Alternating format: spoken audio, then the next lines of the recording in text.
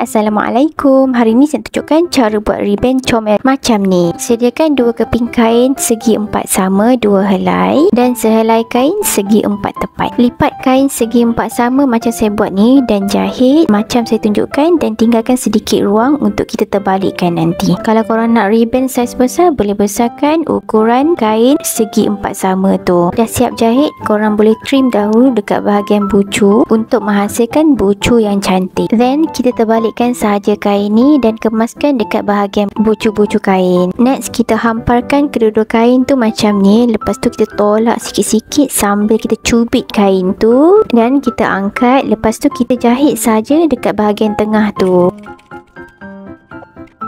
So kita buat tali dekat bahagian tengah. Guna kain segi empat tepat tadi. Ni tali yang dah siap. Kita balut sahaja dekat bahagian tengah ni. Kita potong sahaja lebihan tali tu. Sorokkan bahagian yang kita potong tu ke dalam. Dan kita jahit dekat bahagian ni Menggunakan jarum jahit tangan sahaja. Senang je kan? Kalau korang suka video ni Jangan lupa like, share, komen dan follow. Save video untuk rujukan pada masa akan datang